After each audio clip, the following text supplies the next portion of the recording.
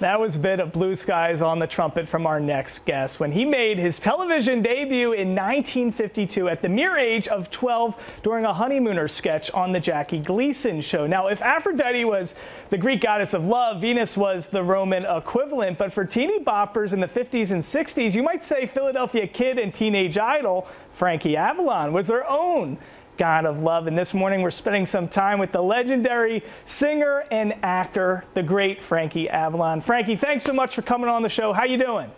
I'm doing fine, Mike. How are you? I'm great. Now tell me, when you hear that, when you see yourself on that sketch playing the trumpet at such a young age, what do you think about? What comes to mind? I think that I'm still the same size. That's number one. And I still have the hair, so that's number two. Uh, horn I don't play anymore. But I'll tell you something, Mike. I'm coming to Las Vegas uh, for about, uh, I don't know, the millionth time.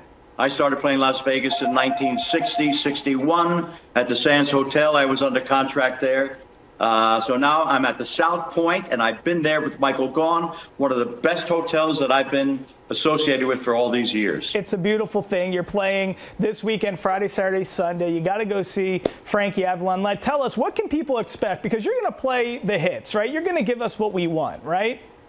Yeah, there's no surprises, Mike, uh, with my show. I do what everyone wants to hear, wants to see. I do all the songs from uh, my early days of uh, Dee Dee Dinah, Gingerbread, Venus, Bobby Sox the Stockings, Beauty School Dropout. And I do a lot of film clips too, which is about my family because a lot of people wanted to know all through the years about my eight children, my 10 grandchildren. So I do that. I've got some special guests that, that are on my show with me too.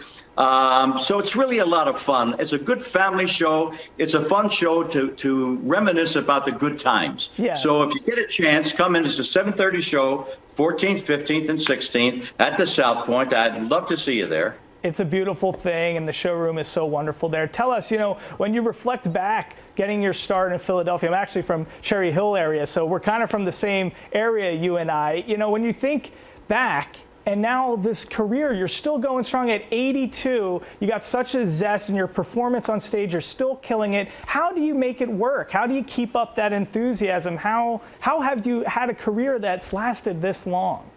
Well, you know, I've been doing something for a long, long time, Mike. Uh, I've been involved in health and products, and I've got a company which I've been telling people about because they ask me all the time, "What do you do? You're 82 years old. You still have energy. You're still out there working. I do an hour and a half show. Uh, I work up 40 dates a year. Uh, I'm very active, so I've got a product, and it's on frankieavalon.com. If you want to know about what I do, that's what I do. Right. So uh, there's no surprises. I'm going to do it. Listen, I'm 30, you're 82, you're beating me up. That's all I know. So I got to get these products. You got to go to frankieavalon.com. The great Frankie Avalon. Frankie, thanks so much for spending some time with us. Go thanks, see him. Mike. See you all. See you at the South Point, 14, 15, 16. There you go. South Point, the showroom. You see all the dates up on your screen. 7:30. Go to southpointcasino.com for more information. Frankie, thanks for spending some time with us. I'm going to go take thanks, some of those Mike. vitamins right now. I'm, I'm leaving the stage.